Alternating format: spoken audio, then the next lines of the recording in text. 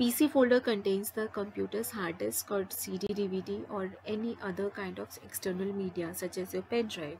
By using this PC icon, we can access and manage all the files and folders stored in our computer. It performs many different kind of functions like your finding, organizing, moving and copying files and folders. When you double click on it, you will get this kind of window. First, it contains the ribbon portion on the top and side and uh, it contains the commands arranged in the form of tabs and group. Next we are having this address bar over here. It contains the complete path of the selected file and folder. Suppose you are clicking on something, some folder, you are going to get the path of that uh, folder or the location of that folder over here.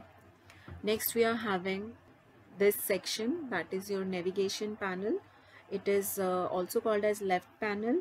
It contains all the files and folders or icons which are in your computer. As soon as you click on any of one of these you are going to get all the details of that uh, icon or a file over to this side this is called your right pane.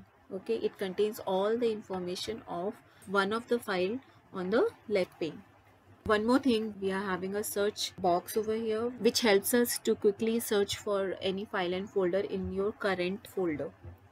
Here is the this PC icon. It contains uh, different kind of sub icons over here like uh, 3D object, desktop, documents, downloads, music, picture, videos and different uh, drives also. Drives are your location of the files here we are having four different drives that means one hard disk in your computer is divided into four parts you can name them according to your ease also. As you can see over here I have four drives in my computer. This blue line represent how much space in that particular drive is occupied and the blank area represents the empty space in your drive.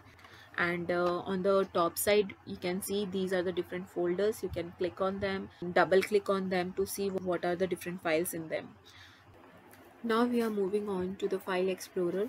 It displays the detailed information about the files, folders and drives inside your computer. It enables you to access, edit, manage, organize different files and folders in your computer. You can view, create